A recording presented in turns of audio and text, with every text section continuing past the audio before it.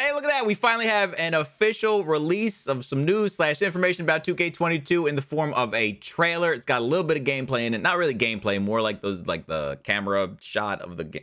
You know what I'm saying? I'm gonna shut up. Let's watch it. And then at the end, we're gonna come back and talk about it. So stick around. You, man, if this is copyrighted, I'm gonna lose it. Like it. Tim the Tatman. Wait a minute. I'm sorry to pause it so early on, but is that?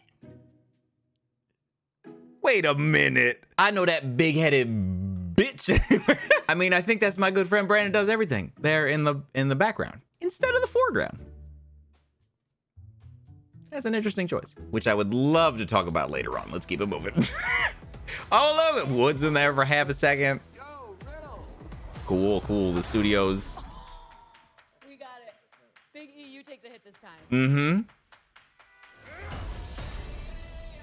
Game looks great so far. Oh wait. Keep coming. Keep. Please keep it coming. Really? Hijo, ya tú sabes. Trying to trying to look for some Easter eggs. I don't see it.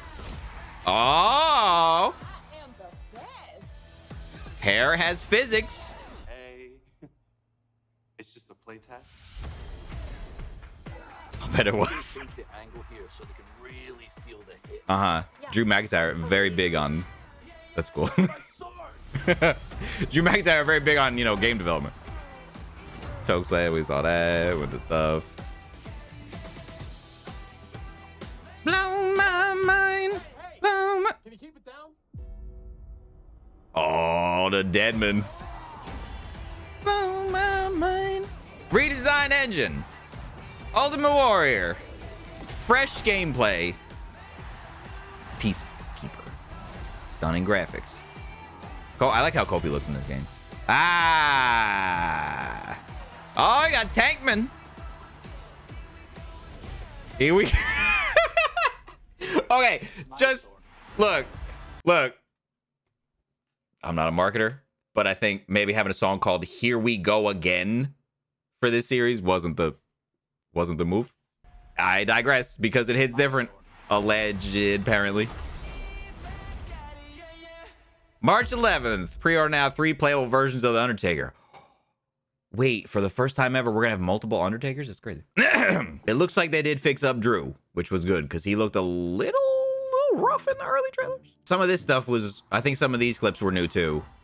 That now, as far as the rest of it goes, first of all, I, like on the serious note, I'm so happy for Brandon. That's my boy. It's been my friend for years. Like seeing his growth and progression and and everything these last couple years has been a a genuine joy to watch. Don't tell him I said that though. It's my personal opinion, and some may not agree, that I and I love Tim the Tatman. I think Tim's one of the coolest streamers. He's all you know, he's got a positive community. It's a very like if you're gonna pick somebody on the outside, I think that's a great choice. I'm just thinking how cool it would have been to see Brandon at the forefront of that, or Aaron, or Dalton, or like any of of the people in the community. And I know the first uh the first like response to that's going to be, well, you know, they do that to bring in a new audience. That's why you bring in somebody like that, or an MGK, or a Tim the Tatman. Normally, I would agree. Normally, however, wrestling games, and this is still something I think people just don't get in their heads. Wrestling games are a unique situation that you cannot apply other logic to. Because a kid that plays Warzone and Fortnite is not going to start playing WWE just because they saw Tim the Tatman in a commercial.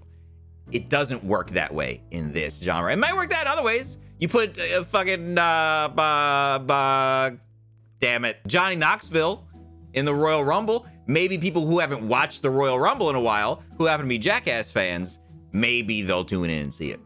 That logic is not applied in the wrestling game world. I have a lot of examples about that if you want to talk about that more in depth, but that's just the way it is. So it's my personal opinion that it would have been very cool to see like one of the boys at the forefront of this whole thing. Maybe even somebody with acting experience, but let's not get that deep.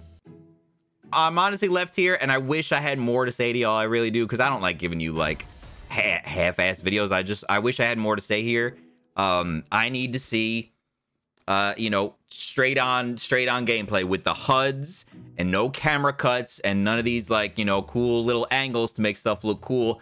I need to see the straight on gameplay before I even tell you whether I think it's a good idea or not for you guys to even bother with this. I hope too, if nothing else, that I've I've earned a bit of a reputation that yeah, I get hype about stuff if I'm excited about it, if I'm genuinely excited about something. And some people might think I overhype stuff, but that's like my personality. But also when shit is not good, I tell you that. And I think I've made that abundantly clear over the years. So I want to tell you one way or the other, but I genuinely, I don't have an answer yet. Only thing I will say is that these pre-order bonuses, three versions of The Undertaker, and what was it? Wasn't it like a Rey Mysterio something or other? Or was that fake? Was that the deluxe thing? I don't remember. Regardless, Bing Bang and Booey, three versions of The Undertaker. I thought that was, Ka I, I, I looked real quick. I thought that was Cathy Kelley for a second. I was like, oh, Cathy's back. She's not. Then I might tell you to pre-order. but uh, I leave you here with Rey on a ladder in in pink and turquoise. That's a dope outfit, honestly. That's pretty cool. That's a pretty sweet fit. I said it before, I'll say it again. As a lifelong wrestling game fan, I want every wrestling game that is released to be good. Maybe I will get my wish.